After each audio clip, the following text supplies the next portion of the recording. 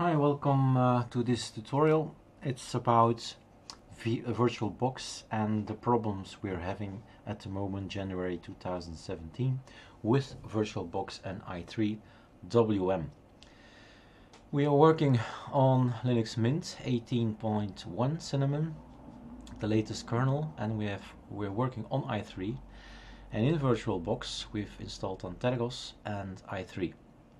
So there were a lot of problems and um, I've looked online and there seems to be a bug and they're not uh, very uh, interested, it's not on their high priority list to fix this bug.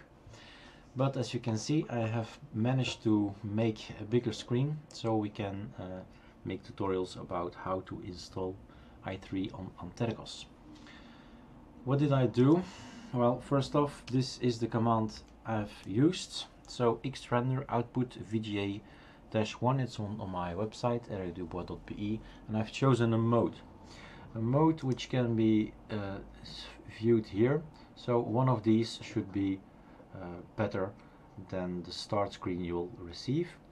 And depending on the, the, the, the size of your screen, you should select one of these and type it in here. How do I know it's called VGA? One, I suppose it's going to be called like that always since we are on uh, VirtualBox. But if you just type xrandr, then you know what is what the name is. So you should choose exactly the same uh, name. That's that.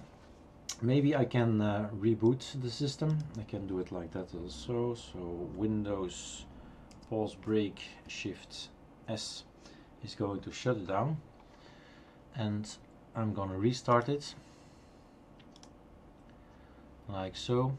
I'm put this screen here on number 7 and now we have on number 5 this element.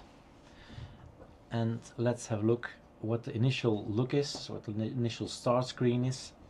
And that's then you understand what the bug is. So I started in this and I thought hmm, what the hell? Well, how can we fix this what should I do?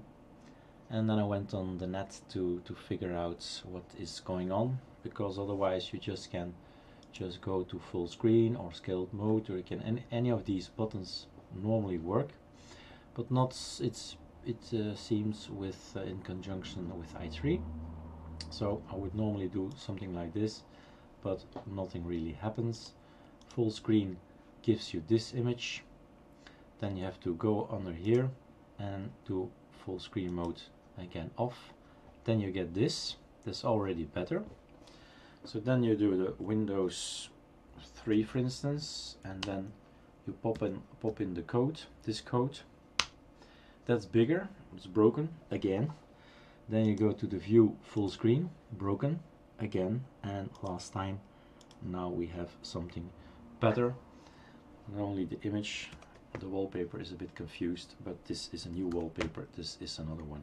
So everything looks better and suitable to uh, make tutorials. So that's how I figured out a workaround. Success